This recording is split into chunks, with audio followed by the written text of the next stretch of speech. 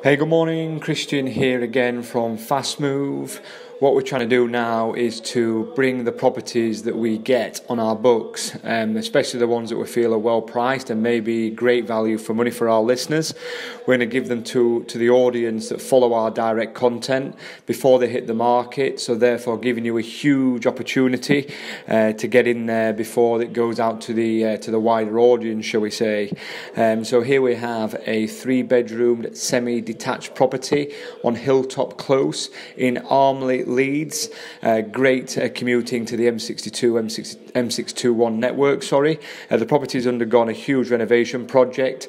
Parts of it are unfinished, but all materials come with the sale, so it's just a bit of labour that'll take to get it finished. And if you look at comparables, properties around there have sold for probably twenty, thirty thousand pound more. So given the price, it is a bargain. Book your viewings now.